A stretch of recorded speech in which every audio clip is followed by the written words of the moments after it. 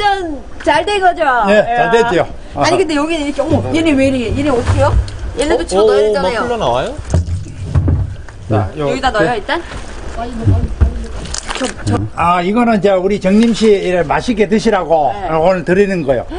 어, 아니 근데 이 귀여운 거를 주시고 어떻게 감사합니다. 근데 아, 크셔요. 이거 두고 어- 어디로 가요? 아, 요 마을 여기에 가면은 네. 요뭐 정자나무도 큰 거 있고 우물도 있고 그런데 가면 그 저 동네 분들이 많이 기다리고 있을 거예요. 아마 기다리고 아니 그냥 다리 한 두 개만 잘라 주셔도 되는데 저걸 이번에 귀한 참문화 맛보러 마을로 향했습니다.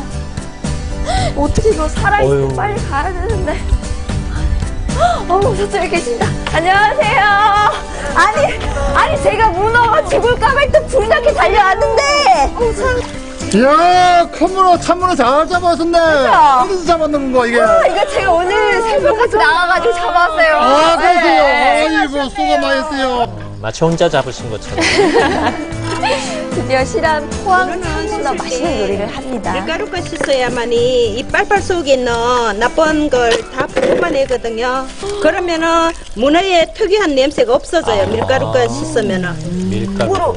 예부터 수라상에 오르던 문어를 가장 손쉽게 즐기는 방법은 바로 숙회인데요. 맛있는 숙회를 만들기 위해서는 꼭 기억해야 할 것이 있다고 합니다. 먼저 문어를 짧은 시간에 삶는 게 좋고요. 찬물을 헹구지 않고 따뜻한 상태로 먹어야 참문어 본연의 풍미를 제대로 즐길 수 있다고 해요. 탱글탱글하게 익은 참문어의 자태에 아, 이렇게 넋을 놓고 말았습니다. 예, 저 빨판 부분이 쫄깃할 것 같아요. 사합니다. 워낙 싱싱해서요. 아니 이게 삶아주는 게좀 이게 빨판 식감도 제대로 느껴지면서도 이게 씹을 때 국물이 달짝지근하면서 하나도 안 질겨요. 근데. 잘 삶아주셔가지고. 예, 왜안 질겼냐면은 살았는 걸 바로 삶았기 때문에 그래요. 씹으면 씹을수록 입안에 가득 퍼지는 달달한 그 맛이 정말 일품인데요. 흔히 숙회 짝꿍은 초장인데 요 참문어 하나면은 다른 생각 전혀 안 납니다. 네, 그래도 스튜디오에 있는 저희 생각을 좀 해주시죠. 다음은 참문어를 활용해서 밥을 지어 주신다는데요. 어? 문어로 밥을요? 문어밥은 처음 봤어요.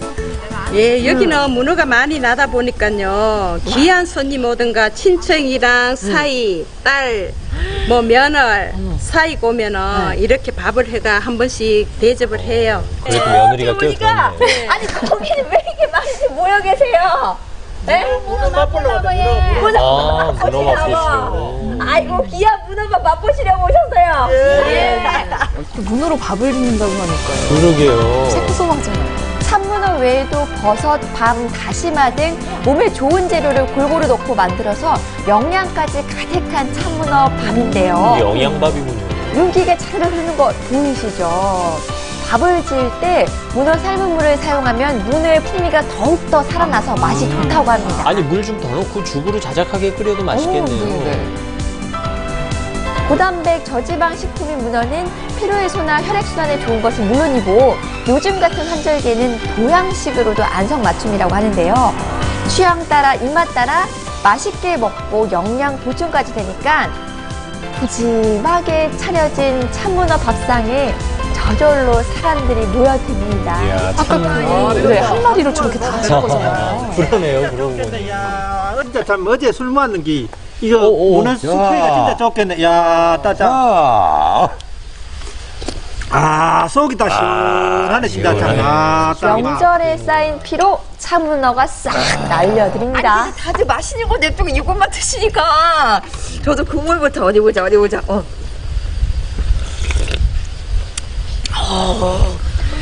야, 진짜 이게 속이 시원해요? 쫙 내려가는 아, 게 그렇게. 뼈, 뼈 있는 거 어. 우리 우려내 국물 아, 같이. 그래요? 부고면 갖다 물이 벌거물이 한기 갖다가 시원한 게 어제 먹은 수, 술이 갖다가 싹 속에 그게 싹 차고 들어가 얼마나 맛이 갖다 틀린다니까. 형제지간에 또 모여가지고 명절 끝에 와가지고 다 한 잔씩 하다 보니까 이렇게 시원한 국물은 처음일게요.